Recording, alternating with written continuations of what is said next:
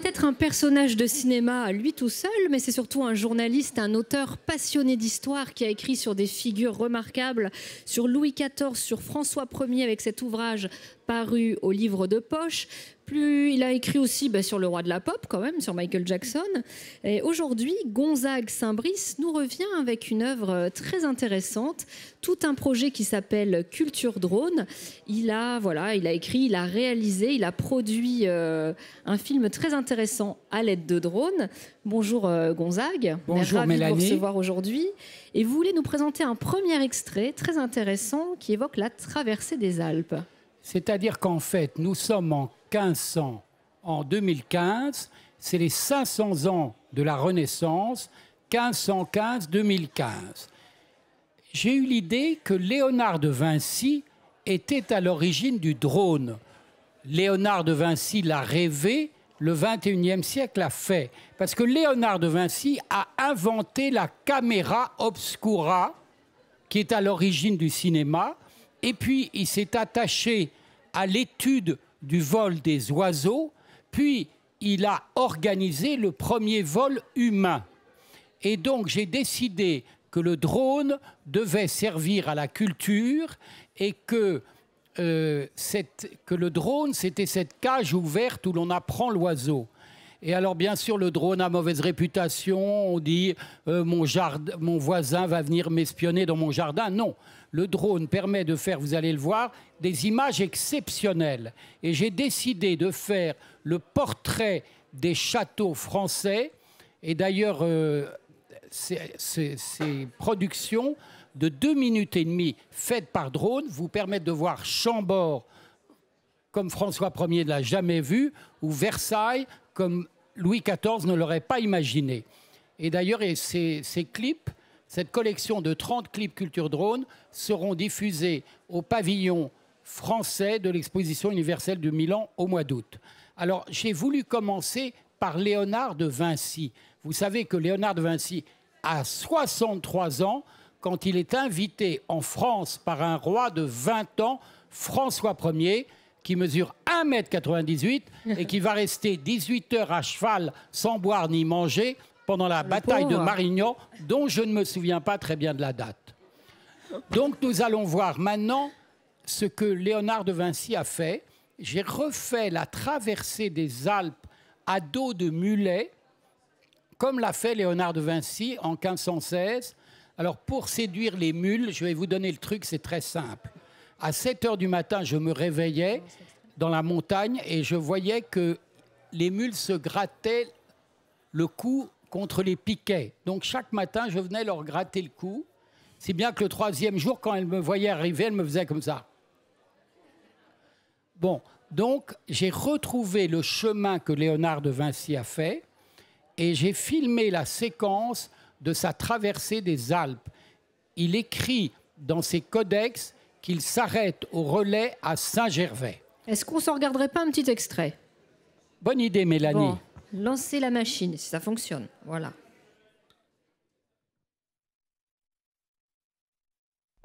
Il était une fois l'histoire de l'amitié d'un souverain et d'un génie.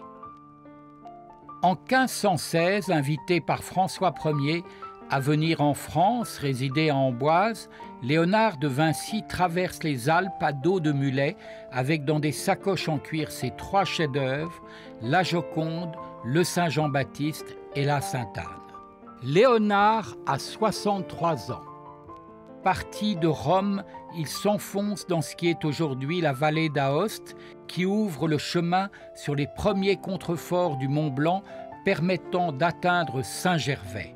Passage obligé, la vallée de Montjoie, Léonard de Vinci a donc gravi le col du Bonhomme, empruntant le chemin millénaire des Muletiers et la voie romaine de Notre-Dame de la Gorge, haut lieu de recueillement des voyageurs. Sur les sentiers escarpés, le maître toscan ne cesse, sur les feuillets du carnet de cuir attaché à sa ceinture, d'esquisser, de croquer, de dessiner le paysage grandiose qui se déroule devant ses yeux. À lui s'impose au début du printemps le spectacle hallucinant et brutal de la fonte des neiges, chute d'eau et cataracte. En arrivant au refuge à Saint-Gervais et en contemplant ses dessins qui restituent le ruissellement furieux, il comprend que la fin du monde viendra par la submersion des eaux. Dans le théâtre des Alpes, le génie met en scène dans son œuvre la fulguration inouïe et prémonitoire de la fin des temps. Les monts, les chutes, les pics, les ravins, les cavités profondes sont partout dans les fonds de ces tableaux. Au Semnoz, le plus beau belvédère d'Europe, qui donne sur la chaîne des Alpes et la majesté immaculée du Mont Blanc, il élabore sa théorie du bleuissement des lointains. De sa main magicienne, sur l'ivoire du parchemin, au sommet de son art, il écrit Notre corps est au-dessous du ciel et le ciel au-dessous de l'esprit.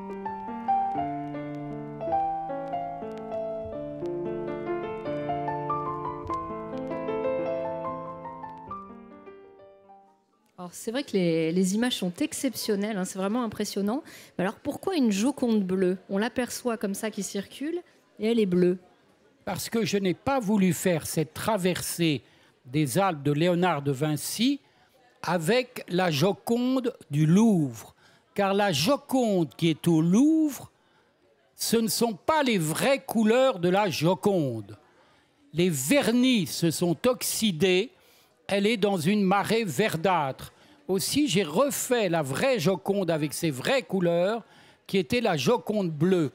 Et ceci n'est pas une invention de ma part, puisque le grand conservateur du Louvre, Pierre Rosenberg, m'a confirmé que la Joconde était bleue. Du bleu d'où est issue la profondeur Le bleu du ciel, le bleu de la mer. Et en 2014, il y a eu un scoop qui est tombé, c'est qu'on s'est aperçu au musée du Prado à Madrid qu'il y avait un tableau qui montrait Léonard en train de peindre la Joconde. Donc on voit Léonard qui peint la Joconde et on voit le mec derrière qui peint Léonard en train de peindre la Joconde et on voit que le fond de la Joconde était bleu.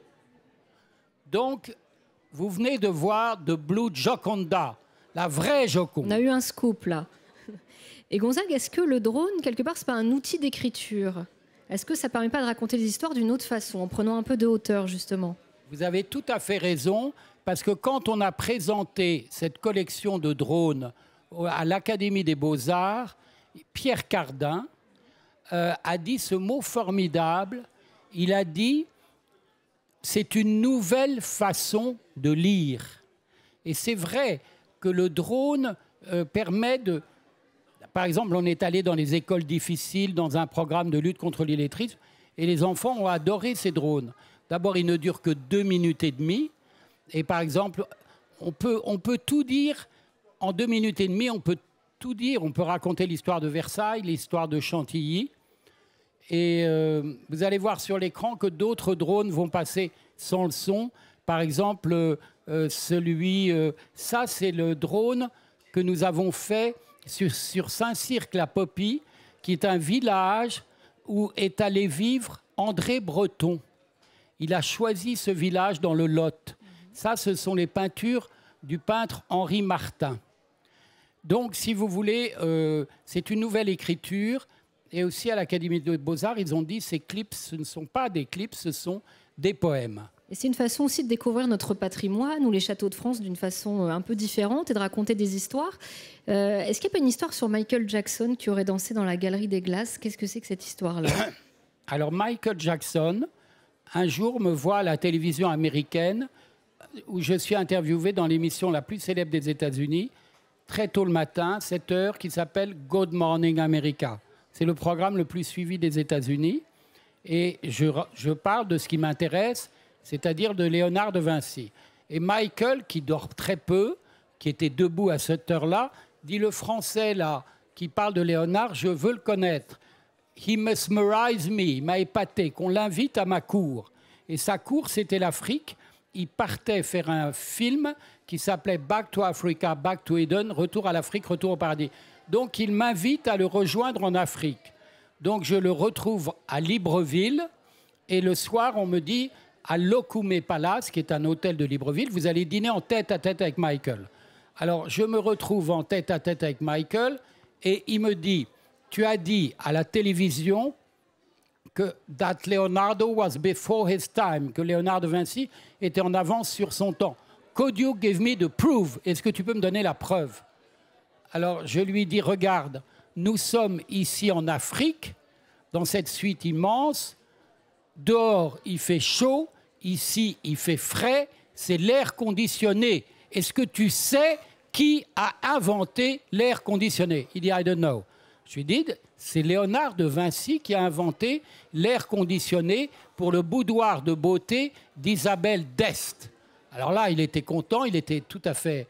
Mais vous savez, Michael, c'était un type euh, très difficile. Alors là, il me demande une deuxième question. Could you give me another proof? Là, je trouvais qu'il exagérait un peu. Enfin, je me lève, je vais au bout de la, de la suite de 200 mètres de long et je reviens avec une feuille de papier 21-29-7 que je mets devant le nez de Michael. Je lui dis, Michael, that is the second proof. Il me dit, why? Pourquoi? Je lui dis, le nombre d'or. Seven, seven, seven, seven, seven. C'est le nombre d'or qui est le format de la feuille 21-29-7. Alors là, il était très content. Il me dit Est-ce que tu veux rester avec moi pour regarder des vidéos de Bambi? Je dis Non, merci, je vais me coucher. Ouais, ça aurait été bizarre. Hein. Bah, merci beaucoup, Gonzague Saint-Brice. Vous avez vu, il ne tarit pas d'histoire. Hein. Si vous allez le rencontrer euh, du côté de son stand, euh, il vous en racontera de belles. Merci beaucoup, Gonzague. Merci. Je termine par une phrase de Michael, magnifique. Il m'a dit en descendant le fleuve Ogwe c'est un proverbe africain. Ne l'oubliez pas, un homme sans culture, c'est un zèbre sans rayure. Merci de votre attention. À méditer.